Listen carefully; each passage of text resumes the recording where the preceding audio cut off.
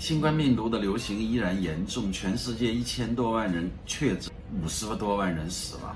那么我们在日常生活中，大家已经知道要戴好口罩，要勤洗手，要少聚集。那么在这个时候，我们吃饭的时候应该注意些什么呢？我想吃饭的时候无外乎几大要点，因为新冠病毒它的传播是靠气道。气沫、飞沫传播的，所以呢，我们吃饭的时候要相对独立一些啊，自己吃饭最好。一个人吃饭，在一个空间吃饭。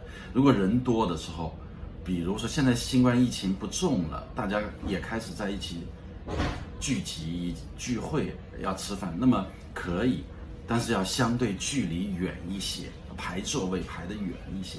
第二个，大家一直在倡导就是要用公筷。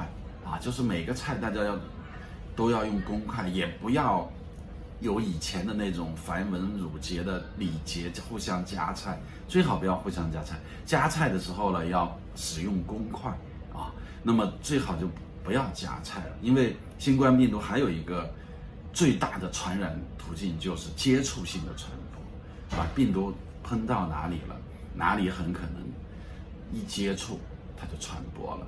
另外一个很重要的，最近的一些现象告诉我们，比如说在冷鲜市场出现的一些小范围的流行。那么吃饭的时候最好都是吃加热的食品啊，那些新鲜的、冰鲜的这些食品呢，我们尽量少吃。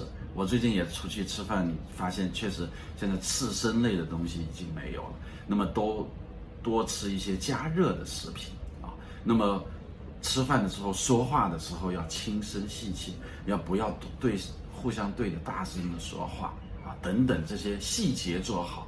第一个防气道的飞沫传播，第二个防接触传播，第三个就是从传染源的角度看，我们不要吃这些冷鲜的食品，因为冰冻的这些东西，如果有病毒寄生上去的话，它存活的时间比较长。